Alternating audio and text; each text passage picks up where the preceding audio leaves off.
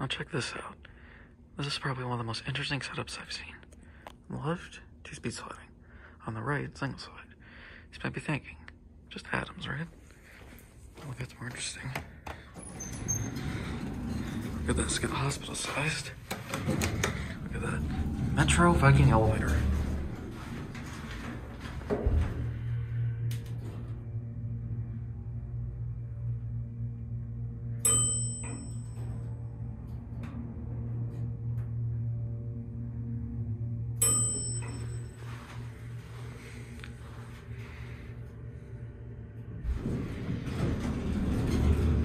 Three.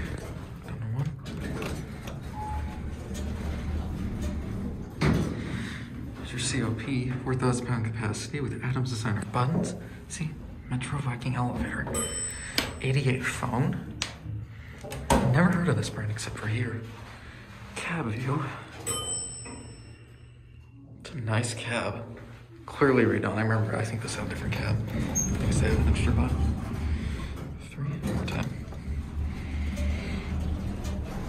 time. Send the back of the cab this time.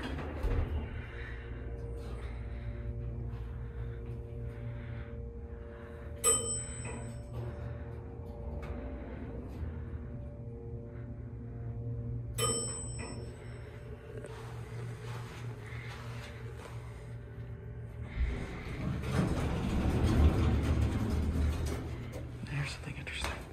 Take no look. Adams, that's Dover. Keep that in mind. You'll see why in a minute. We're gonna go back down to one.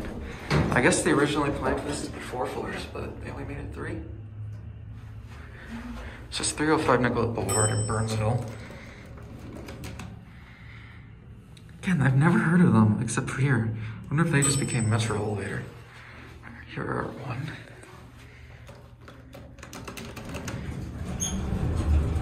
Send this one up.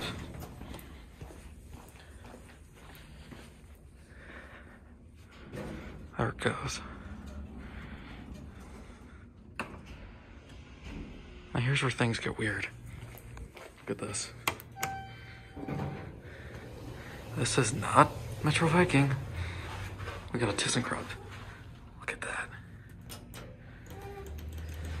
Isn't this like the weirdest setup in the world?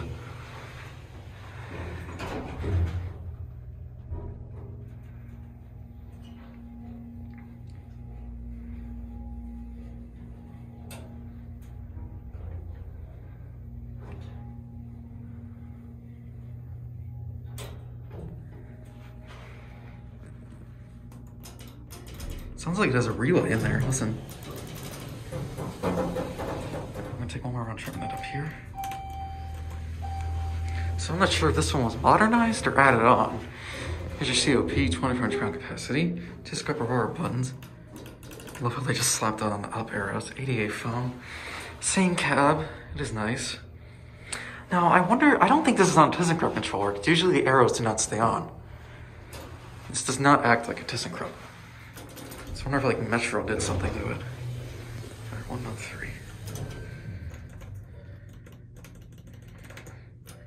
See, it sounds like there's a reline there. It's weird. Here we go.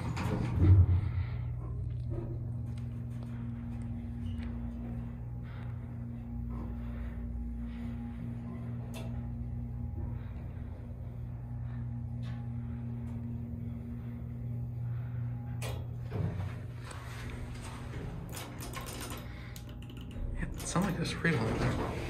Here's three. This is a weird bank of elevators.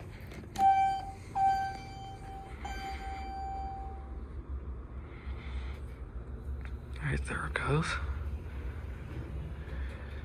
And